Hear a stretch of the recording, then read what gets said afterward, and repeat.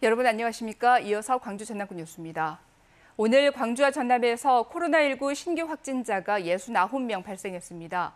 요양병원을 비롯한 감염 취약시설뿐만 아니라 코로나19 최일선을 담당하는 보건소 직원도 감염되는 등 방역 강화를 앞두고 코로나 확산세가 이어지고 있습니다. 보도에 손준수 기자입니다.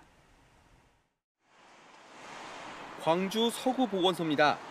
지난 1일 이곳에서 근무하는 선별진료소 직원 한 명이 코로나19에 처음 확진됐습니다. 사흘이 지나 보건소에서 역학조사를 담당하는 직원 한 명이 추가로 확진되면서 보건소 직원 50명이 진단검사를 받았습니다.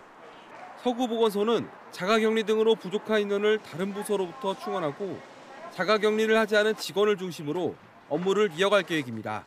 예방접종 완료자들은 전부 수동 감시로 넣어가지고 퇴근할 때 PCR 검사하고 들어가고요. 또 아침에 자가 키트로 음성 확인한 사람에 한해서 출근이 가능합니다. 광주와 전남에서 오늘 오후 6시를 기준으로 발생한 코로나19 확진자는 69명. 12월 첫째 주에만 확진자가 300여 명을 넘어갔고 강화된 방역지침 시행을 앞두고 확산세는 계속되고 있습니다. 광주 북구의 한 요양병원에서 종사자 등 7명이 추가로 감염됐고 어린이집과 초등학교 등 감염 취약시설에서 확진자가 잇따라 나오고 있습니다. 저희가 보기에는 예방접종률이 낮은 10대 이하 청소년들하고요. 초기에 접종을 하셨던 5, 60대 이상 고령층 쪽에서 백신 효과가 감소되는 것과 맞물려 가지고 확진자가 좀 늘어나는 특징을 보이고 있습니다.